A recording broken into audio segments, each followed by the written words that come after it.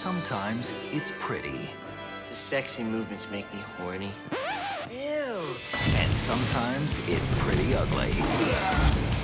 Prepare yourself I wonder what happens next. for a brand new season of Todd.